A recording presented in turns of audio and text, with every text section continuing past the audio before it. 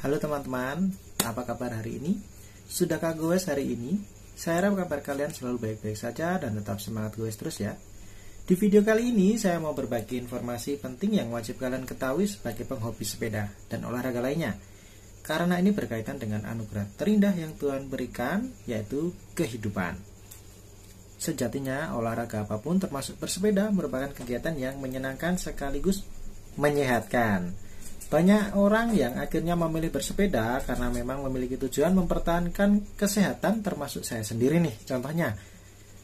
Namun, seperti kegiatan lainnya, olahraga termasuk bersepeda juga memiliki risiko ke tubuh, baik itu ringan seperti cedera otot maupun yang berat atau fatal yaitu yang menimbulkan kematian.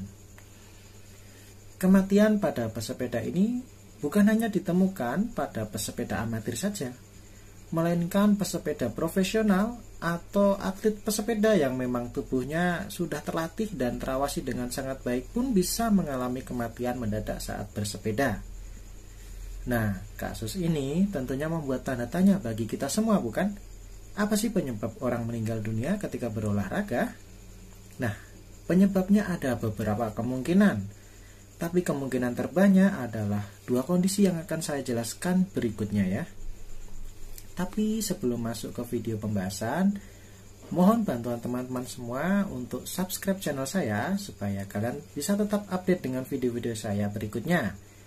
Subscribe ini bersifat gratis kok. Oke? Lanjut. Penyebab kematian saat bersepeda atau berolahraga yang pertama dan yang paling banyak terjadi adalah serangan jantung. Serangan jantung ini adalah kondisi di mana otot-otot jantung mengalami kematian karena berhentinya suplai oksigen dan darah yang menuju jantung e, baik itu terhenti sebagian atau bahkan berhenti total. Yang penyebabnya bisa memang karena pecahnya plak pada pembuluh darah koroner atau pembuluh darah jantung yang selanjutnya membuat gumpalan darah dan pada akhirnya gumpalan bekuan darah ini menyumbat pembuluh darah e, koroner atau pembuluh darah jantung ini sehingga jaringan atau otot jantung yang seharusnya mendapat suplai darah yang membawa nutrisi, energi, dan oksigen berhenti dan menyebabkan kematian jaringan atau otot jantung. Dan penyebab serangan jantung kedua adalah karena jantung berdenyut terlalu cepat yang mengakibatkan ketidakefektifan pompa jantung yang pada akhirnya suplai darah ke otot jantung tersebut berkurang dan terjadi kematian jaringan otot-otot jantung. Untuk mengurangi risiko tersebut, ada beberapa cara penting. Yang pertama, pastikan kolesterol kalian dalam nilai yang baik ya. Karena kolesterol ini adalah pemicu plak yang ada dalam pembuluh darah. Pastikan kolesterol total, HDL, LDL, trigliserida semuanya dalam rentang yang baik. Jangan takut atau malas periksa lab. Ada baiknya kalian rutin medical check up 6 bulan sekali, 1, 1 tahun sekali itu tergantung ya. Kemudian pastikan denyut nadi kalian dalam rentang normal saat berolahraga. Cara menghitungnya bagaimana sih? Nah, cara mudahnya adalah angka 220 dikurangi usia kalian. Nah, itu adalah nilai maksimal nadi maksimal kalian. Misal ya, usia kalian ini 30 tahun. Maka nadi maksimal kalian adalah 220 dikurangi 30 yaitu 190 kali per menit atau denyut nadi 100% kalian itu nadi maksimal ya. Nadi maksimal ini bukan berarti kalian bisa berolahraga aman sampai denyut nadi 190 kali per menit tadi. Melainkan batas nadi kalian hingga maksimal di angka 90% itu. Itu pun sebentar saja. Misal sprinting akan lebih baik jika tidak sampai 90% sih.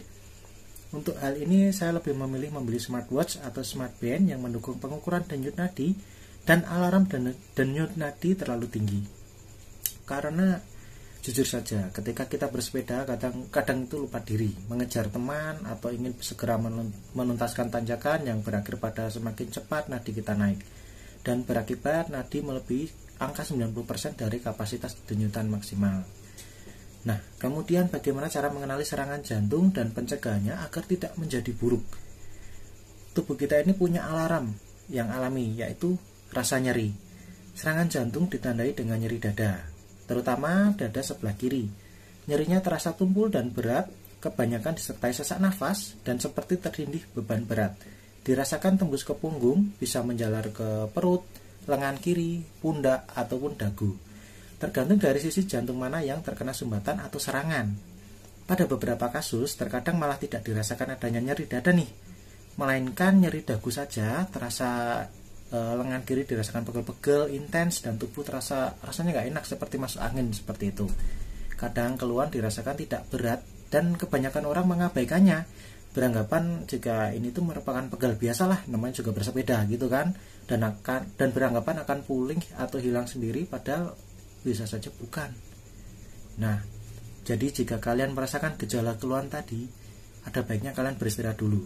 Jika dengan beristirahat tidak berkurang ada baiknya anda periksa ke rumah sakit untuk dilakukan rekam jantung.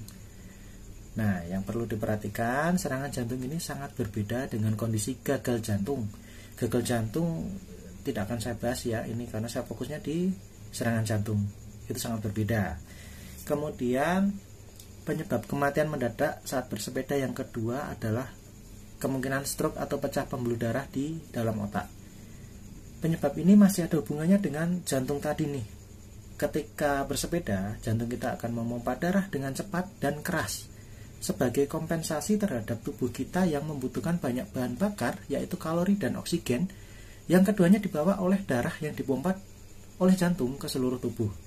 Sifat dari pembuluh darah ini sebenarnya pada dasarnya elastis. Tapi pada suatu kasus ada kemungkinan pembuluh darah ini pecah karena terlalu rapuh atau karena terlalu kuatnya pompaan darah dari jantung kita. Perlu kalian ketahui, Keras lemahnya pompaan jantung ini disebut juga dengan tensi atau tekanan darah. Untuk menghindari terjadi stroke atau pecah pembuluh darah, kita dapat melakukan upaya pencegahan dengan cara berikut ini kan. Selalu lakukan pemanasan dan pendinginan sebelum dan selesai sesi bersepeda. Ini wajib hukumnya ya. Periksa tekanan darah secara berkala. Kalian bisa beli alatnya atau periksa di fasilitas kesehatan. Jika kalian penderita hipertensi atau tekanan darah tinggi, sangat dianjurkan kalian mengontrolnya dengan memeriksakan diri ke dokter spesialis jantung. Yang mungkin kalian akan dilakukan tes treadmill supaya mengetahui seberapa maksimal tubuh kalian mampu berolahraga dan mengetahui nadi maksimal secara aktual dan faktual bukan hanya dengan 220 dikurangi usia. Kemudian baiknya untuk kalian yang memang mempunyai faktor risiko seperti yang saya sebutkan tadi untuk bersepeda dengan gaya yang santai saja dan menghindari medan yang sulit baik menanjak, jalur ekstrim atau ngebut. Kemudian saat beristirahat bersepeda jangan langsung duduk atau malah berbaring. Karena jantung masih memompa darah dengan keras untuk mencapai organ terpenting kita yaitu otak. Kenapa? Akibat ini akibat dari hukum gravitasi di mana letak jantung kita lebih rendah daripada otak kita. Jika setelah bersepeda, terutama bersepeda ekstrim, lalu kita jongkok atau duduk otomatis tekanan darah yang akan diterima otak jadi lebih tinggi yang pada akhirnya dapat meningkatkan risiko pecahnya pembuluh darah otak. Nah, ada baiknya kalian setelah selesai sesi bersepeda untuk berdiri sebentar sehingga dirasakan dada tidak terlalu berdebar. Lalu kalian boleh duduk, menikmati kopi dan bubur ayam atau soto panas pagi hari. Sedap. Oke, teman-teman, berikut tadi informasi yang bisa saya berikan. Perlu kalian ketahui, saya bukan seorang dokter, apalagi seorang spesialis jantung dan pembuluh darah. Akan tetapi dari pengalaman saya menjadi perawat emergency room atau perawat IGD membuat saya lebih banyak mengetahui tentang hal atau kondisi tersebut. Nah, misal ada kekeliruan dalam materi ini, mohon kalian yang memang ahlinya untuk membenarkannya. Oke, sekian video dari saya. Tekan tombol suka jika video ini kalian rasakan bermanfaat dan bagikan ke teman-teman kalian yang kalian sayangi agar mereka dapat berolahraga atau bersepeda dengan aman. Terima kasih untuk kalian semua yang sudah meluangkan waktu untuk menonton video ini. Semoga bermanfaat ya untuk kalian ya. Selamat goes, salam sehat, tetap semangat.